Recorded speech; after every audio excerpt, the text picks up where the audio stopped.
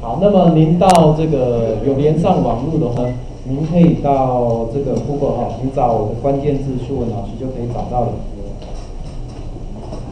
我有背关键字，好，所以这个呢，你点下去啊，我把它放大一点啊这样后面的会稍微看不到，因为我们如果今天我们如果在那个电脑教室的话，会不太够。那您看一下在这里哈，这样应该后面就看得比较清楚一点吧？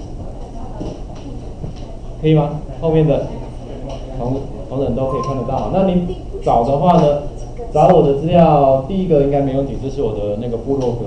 那么下面这个第二个是雅虎奇摩的，我之前在那边哈。不过各位应该最近有看到消息的，雅虎部落格跟乌名也要吹熄灯号了。今年有两个重要服务可以熄灯号，一个就是 MSN，对不对？好，我相信各位。应该在座也以前也有蛮多人在用，那现在雅虎奇摩部落格跟无名的这个部落格也要学习灯号了，所以我去年就搬家了。好，那另外呢，再往下走的话，在这边你会找到，这边看到的都是我在 YouTube 上的频道，好，YouTube 上的频道就是我去外面研习的这些内容，我也都都会摆在上面，所以这个其实您直接从第一个进来就可以看得很清楚了哈，我上面。就把我们的就是跟我比较相关的，把它放在上面。好，进来了哈，您可以看到在这边，在这里就有一个 YouTube 频道。那这里面你点进去呢？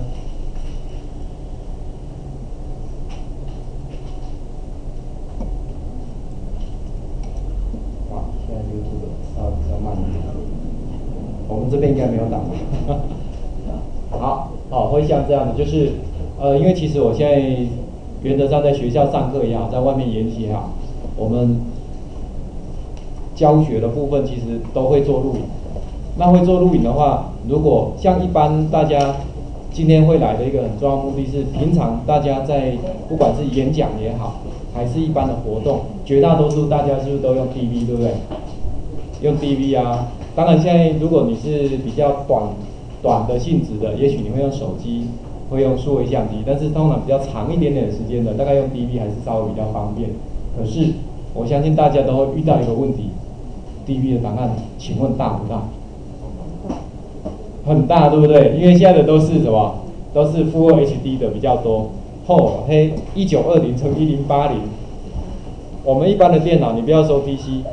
notebook 其实要处理起来，虽然现在新的，但是处理起来还是会比较慢，尤其你还要做后面剪接，活动三小时，剪接三天嘛，那大部分大家没有那么多时间，所以我们今天要跟大家分享说，你有没有什么其他方法，可以在做这一块的时候可以更快一点，好，更快一点，那就更节省时间。好，那呃我在延期的部分呢，我们都会就是会像这样分开，哈，你可以看一下，像这个我点进来的话。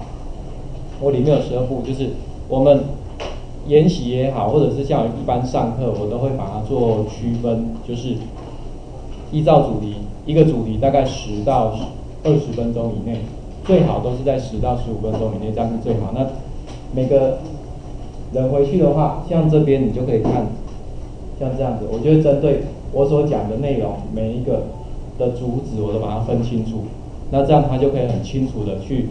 哪一个地方不了解的，他就是看那一块就好，好就看那一块，所以会相对来说比较方便一点。那我们今天也会告诉各位，这个你可以怎么做，好，可以怎么做哈。那另外呢，在这个延期地图应该就还好了哈，只是看看我的碳足迹在哪里这样子。跟各位比较有关的，我们刚刚讲到哈，这个还在跑的过程。先等一下，没关系。在这边哈，有一个免费软体下载。我刚刚讲了，我们今天的，您现在在传阅的这个资料呢，您都可以带回去。如果你不方便带回去的，没有关系，反正上网都有，我都帮你整理好了。好，那这个大概就是像这样子然后反正我就好像出去玩一样。好，我给你看一下这个免费软体。那免费软体这一块，我是放在这个微软的 Sky Driver 上面哈，在这里。在这边，它总共二十五 G 的空间。那您可以直接从这个连接，这个连接，你也不用抄，反正网络上就有，点过去。如果您下载档案比较多的话，它可能它会要求你就是要登录就是微软的 MSN 的账号。好，我可能应该比较不少人应该都有，哦都有啊，这个是用这个空间唯一的缺点，就是比较大的档案的时候，它就会要求你要。啊，如果只有一两个档案，那倒还好。好，那现在呢，呃，它进来预设的这个画面，就是各位现在你们 notebook，如果你是呃应该是去年开始买的，可能就会买到 Windows 八，对不对？Win 八的，哦，它这个叫动态砖，哦，我把它稍微用成。条列式的，你比较好看哦。因为我都有帮各位分门别类，好像我们关于荧幕录影的，这里我帮，放大一点。像我们有关于影音制作的，有关于这个荧幕录影的，在下面。荧幕录影，这里有看到了哦。其实我们讲的只是里面两个，那也是我最常用的两个。但是里面还有其他的，其实我试过也还不错的，好，我都有放在里面。所以如果你有需要，你要下载，你可以点一下，在上面这边就有一个下载，有没有？上面这里就有个下载，你就可以直接下载回来。所以这个最主要就是这些软体，其实虽然都是免费的，但是其实很多免费的做的效果不见得比商业软体差，甚至还更好，只是欠缺一个欠推广。好，因为像微软呐，像这个其他的这个软体都很大家嘛，所以大家都会用。啊，因为他们广告够做的够大哈，当然服务也也是不错的啊。好，所以您了解这样概念之后呢，我们这个等一下呢，您抓到的档案哈，里面会有两个两个压缩档。好，在这里。您待会拿到的档案呢，里面有两个压缩档，一个是有关于软体的部分，然后第二个呢，各位手边现在只拿到三张，对不对？一张讲一个小时，刚好三个小时，多可怜。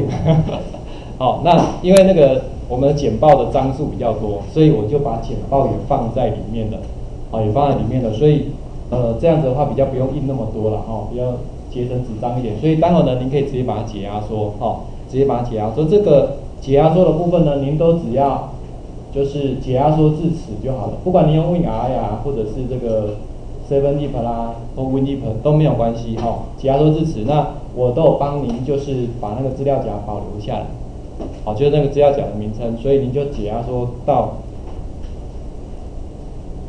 这个指定的目录就可以了哈。像这个免费的，你这个我把它解开了，解压缩地址。所以待会您抠到就直接解压缩，但比较建议各位是抠到硬碟之后，你再来解压缩了哦，你不要抠到随身碟解压缩，那这样速度就慢很多哦，速度就慢很多。好，所以您可以看到这个在这边。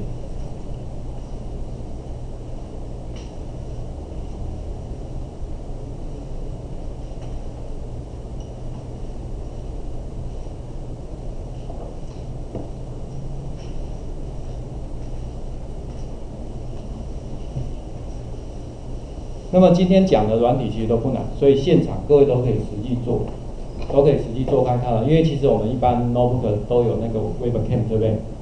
都可以录，所以你等一下可以可以稍微试看看。当然，webcam 录的效果稍微比较差一点点。我们的简报在这边，在这里。好，好，我就先到这边。